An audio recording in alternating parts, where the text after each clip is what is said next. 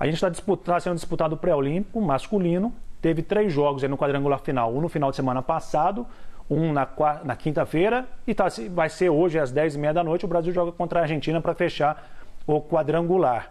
Então foi durante a semana, três jogos. As meninas fizeram o triangular final um jogo ontem e um jogo hoje. É, esse é o detalhe, né? Engraçado isso, né? né? Os, os, meninos têm uma semana toda para jogar três jogos, as meninas são dois jogos é, em dois o dias. O regulamento, é, segundo a gente sempre soube disso, né, em relação à FIFA, é, você não, 48 horas, né, de, de, de, de, distância entre um jogo e outro. Mas esse, esse, esse torneio aí que as meninas disputaram não são oficiais.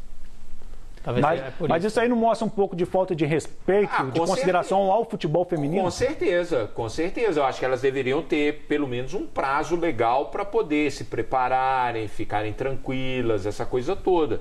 É, é, é aquela eterna discussão ah, ganha-se pouco, vai ser gandula, é, tal, aquelas coisas todas. Eu acho que falta sim algumas organi alguma organização. São jogos três horas da tarde em locais difíceis para a torcida poder ir. É, esse jogo amanhã do é. Cruzeiro. Sete horas da Sete noite. horas da noite no Sesc, segunda-feira. Segunda-feira. é público vai ter? Né? O descaso é tão grande, na minha opinião, que a gente foi pegar ali dados sobre esse jogo com a Venezuela. No site da CBF, na capa, está o jogo de ontem. Não tem informações do jogo de ah, hoje. Mas você quer a organização da CBF? Sério mesmo que você quer a organização da CBF? Feia, só pelo Twitter.